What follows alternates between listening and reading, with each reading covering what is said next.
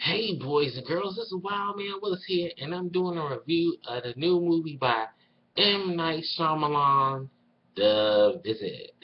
Well, M. Night hasn't done a movie in a while that people care about, and it seemed like some people actually like this movie.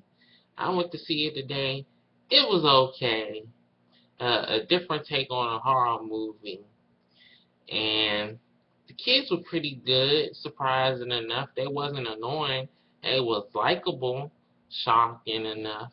I don't want to go into the story too much, but as it's seen in the previews, that these kids go visit their grandparents and something doesn't seem right about them. I'm not going to spoil that for you because I, for those who choose to see the movie, I don't want to ruin it for you because would be just wrong, but once you find out the twist, then you might either shake your head or you can go with it.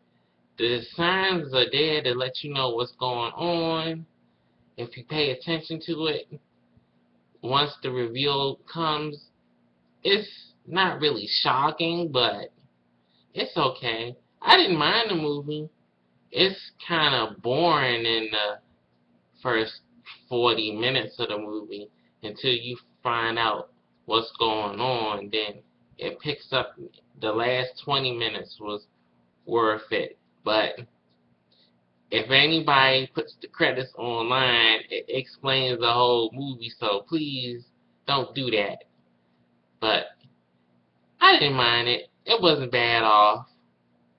I have no really complaint about it. It was boring in the beginning, but it wasn't one of M. Night's worst movies that he made.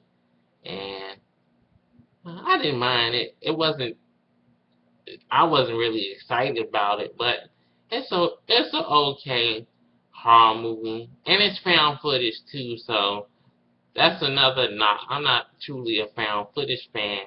And the found footage, sometimes the camera shaking too much can get very annoying.